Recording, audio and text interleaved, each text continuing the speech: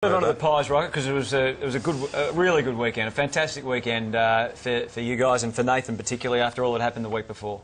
Yeah, yeah. That obviously that uh, um, obviously what happened with Dane, um, but that wasn't a focus uh, at all during the week and any of the meetings. It was more about where we're at and some areas we needed to improve, which is which is every week because obviously something comes up that uh, we need to improve. And uh, obviously Sydney were going to be a great chance on top of the ladder.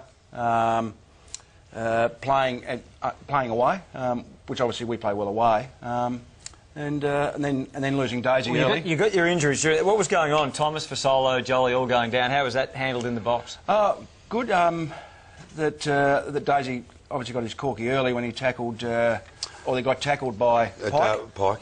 and um, that was then he, he came off. Oh, he tried to run. We put him back on because it was obviously corky just above the knee. Went, and then he came back off, and it was early second quarter. We had to had to sub him out.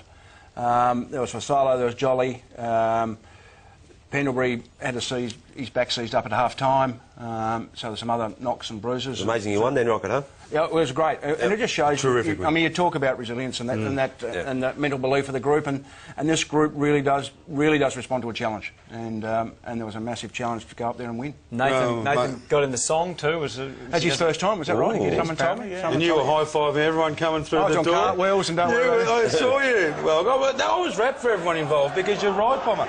You know, if Essendon want to know what's going on when it comes to big games, get them to watch this game as a team and say, go and have a look at the 17 points down, third quarter. Third quarter. Against Sydney, strong, big team, and they fought back. Dawes was terrific in the last. Yeah, Dawes was terrific. Um, In the last quarter. And that, no, those last couple of goals at the end of the third quarter, Beams, and uh, I think Clokey kicked one as well. And, um, Beams. and then, and it was, and it was really pleasing the kids as well. I mean, Elliott and Seedsman, these blokes really contributed. All right. Good win. Well, that was great.